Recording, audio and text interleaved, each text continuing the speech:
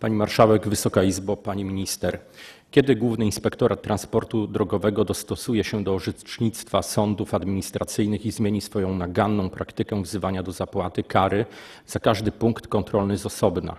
Dzisiaj za jedno wykroczenie użytkownik drogi jest karany wielokrotnie, co często powoduje ogromne problemy finansowe i życiowe wielu ludzi, a w skrajnych wypadkach prowadzi nawet y, do prób samobójczych i śmierci. Ile osób dzisiaj, y, przepraszam, y, czy ministerstwo dysponuje, y, y, czy ministerstwo dysponuje y, dzisiaj y, danymi, ile osób ma prowadzoną obecnie egzekucję komorniczą przez brak opłaty nałożonych y, kar przy poruszanym temacie? Dziękuję.